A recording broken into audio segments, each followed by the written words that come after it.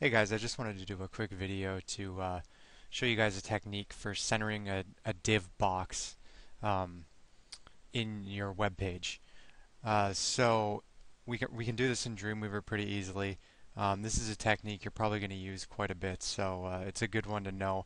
And it's not necessarily the most intuitive, which is why uh, I think it's important to, to do a little video and so everyone knows how to do this.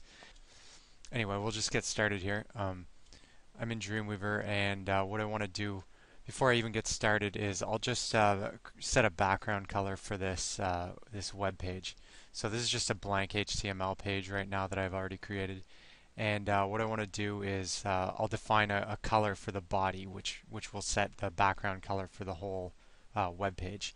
So I'll click right down here in this breadcrumb and I'll go and create a new CSS rule okay? And I want to create this for my tag the body tag.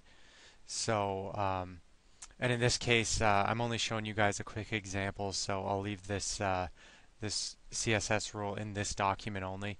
Um, if you were creating uh, if you were starting a new page you would probably want to uh, create it in uh, a new CSS document but for the purpose of this uh, demonstration I'll just leave it at, at this document only. So I'll hit OK here and I'll go to my background tab and just set uh, some kind of color here. This one's fine.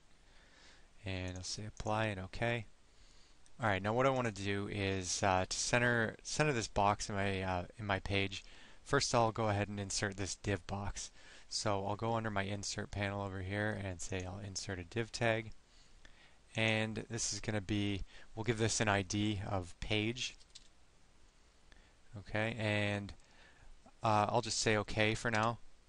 Okay, so we have my div box, and um, since it's a div, it will uh, by default occupy as much space horizontally as uh, its container will allow. So what we want to do here is uh, apply a width to this box, and uh, and then once we have a width on it, uh, we we're going to want to center that box on the page.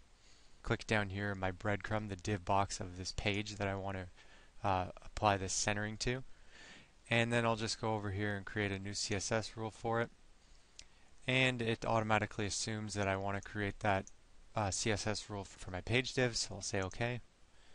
And I'll come down here to my box tab and I'll say, uh, I'll give it a width of 960, let's say. And um, the real trick here is to put margin to auto and that will uh, actually center it on the page uh, horizontally regardless of what uh, what size the br browser window they're looking at it in. And uh, just so we can see exactly what's happening, I'm going to set a background to white